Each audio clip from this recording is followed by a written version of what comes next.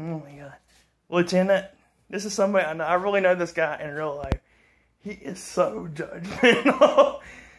and every time, like when I went into like when I used to go to McDonald's, I'd see him in there. I would run, literally and figuratively. Okay, this this is so funny. Literally. Okay. Lieutenant. What day? Oh, well, you're gonna get stopped here. Got that alcohol on you. Ten cans of alcohol back there. You better throw that in the trash. You better throw it in the trash. You better throw it in the trash. Got your ID out. Where's your... Why you got that? Where's your inspired word? Where is it? Where is it?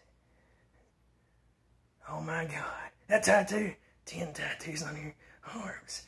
Well, I'm gonna tell you. Well, there you go. You know what happens people have tattoos, don't you? Ah!